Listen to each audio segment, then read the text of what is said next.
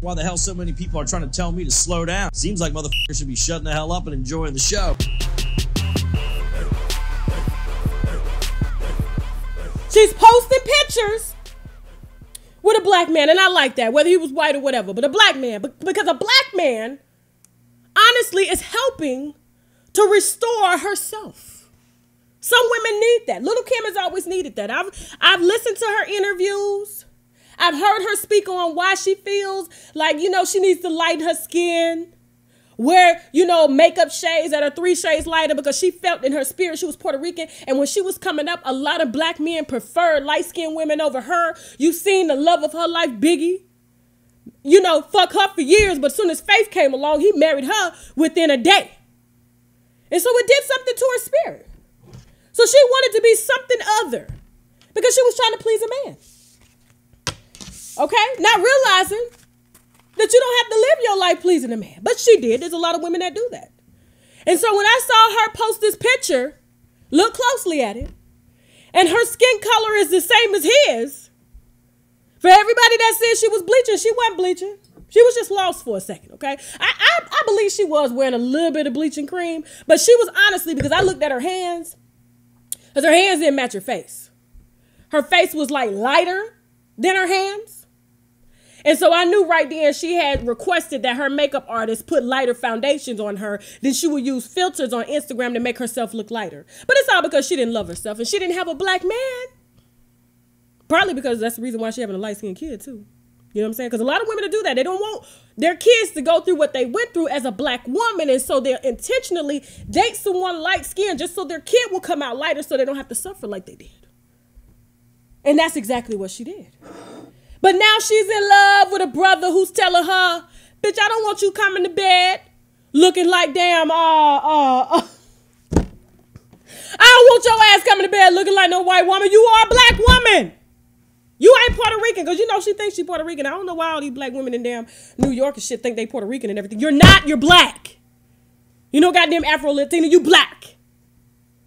Okay? Hold your blackness. So I just wanted to show her some damn love.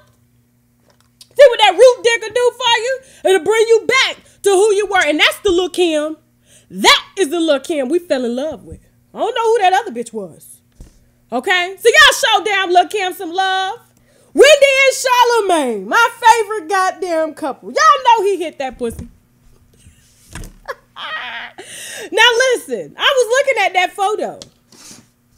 I was looking at that photo and I don't know if you studied this picture because Wendy and Charlamagne put the picture up. But I think he took it down because of this reason here. Take a look. Hold on for a second. You know, wifey's public. Wifey's public. And I can't help to think that his wife, because you know, Charlamagne don't bring his wife out too much. But I can't help to think how much his wife looked like her here. You know who she is? You know who she is?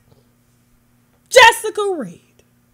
Jessica Reed, if you go to Charlamagne's uh, uh, profile now, I mean, it's look. Before I get into that, it's it's really interesting how much the wife looks like the girl that he supposedly raped. I'm just putting that out there. I'm just putting that out there. I don't know if anybody's picked that up. Mm-hmm. Mm. Just wanted to put a bird in here. But anyway, back to Wendy and Charlamagne. Do you know that he's standing beside a wig? That's not Wendy. Mm-mm, somebody from her studio called me. Mm-mm, that's not Wendy. That's that's actually her wig. But I, I'm I'm sitting here thinking, I'm like, well, you know, did he did he bust a nut in it? Did he bust a nut?